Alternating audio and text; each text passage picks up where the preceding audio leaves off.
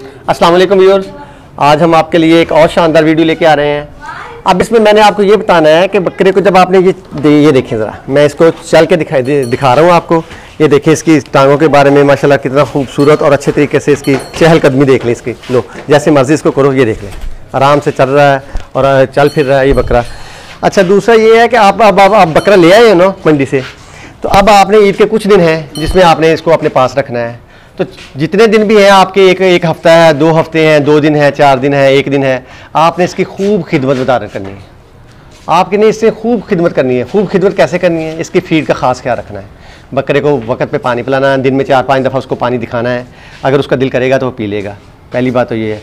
फिर आपने इसको चारा डालना है। चारे के साथ साथ आपने गंदम थोड़ी सी, चने थोड़े से मिक्स कर लेने हैं।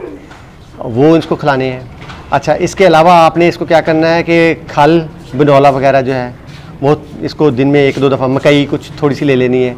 लेकिन ये नहीं कि इतनी खिला दें, इतनी एक्सेस खिला दें कि उसको वो मोशन शुरू हो जाए और फिर आपके लिए बकरे का जो जितना उसका वजूद था, वो वजूद आस्ता आस्ता कम होना शुरू हो जाए या उसको कमज़ोरी हो जाए। आपने उसको खुराक देनी है, मोटे ताज़े, सेहतमंद करने के लिए। आपने उसको इसलिए खुराक नहीं देनी कि वो बीमार हो जाए। तो आपने इसकी फ़ीड का ख़ास ख्याल रखना है। इसको साफ़ सुथरी फ़ीड और अच्छे तरीके से फ़ीड देनी है। चारा इसको खिलाना है। इसकी खूब हिफाजत करनी है। अगर ज़रूरत पड़े तो दिन में एक आधी दफ़ा वैसे आमतौर पर बकरियाँ जो होती हैं, वो नहाती नहीं हैं। बकरे या बकरियाँ जो हैं, वो पानी से अवॉइड करते हैं। लेकिन आपने फिर भी एक आधी दफ़ा नहा देंगे क्योंकि गर्मी बहुत ज़्यादा है। तो आप इसको नहा दें। ठंडी जगह पर इसको रखें। छाँव वाली जगह पर इसको बांधें। ठंडी जगह पर बांधें। साफ़ सुथरे माहौल में। ये देखें ना तो ये अब जो है, ये रेस्ट करना चाहता है। क्योंकि थका हुआ है, हम इसको कभी उधर लेके जा रहे हैं, कभी उधर लेके जा रहे हैं, ये थका हुआ है।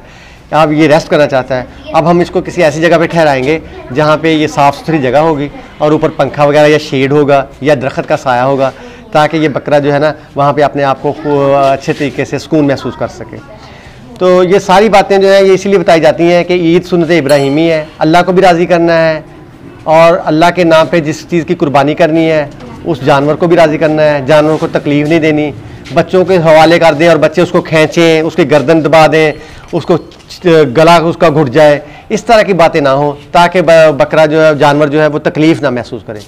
क्योंकि ये जानवर हम अपने शौक़ से लेते हैं और इसलिए लेते हैं ताकि हम अल्लाह की राह में कुर्बान करें। और जिस चीज़ को अल्लाह की राह में कुर्बान करना होता है, फिर उसके सारे चाओ उसके नखरे जो हैं और उसके सारे नाज उठाने पड़ते हैं। तो आपने ये सारा कुछ करना है। तो ये सारी बातों का ख्याल रखना है। अल्लाह आपको खुश रखे। असल वरहमल वरहमतुल्लाहि